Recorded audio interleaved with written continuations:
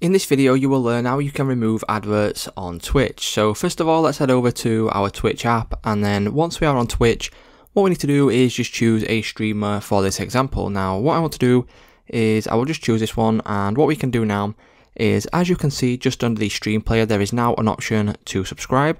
If we click on subscribe, what the description for a subscribe does say is this directly supports the broadcaster, includes ad-free viewing, subscriber badges and emotes. So if you go ahead and subscribe to a streamer, you will then be able to watch their streams ad free.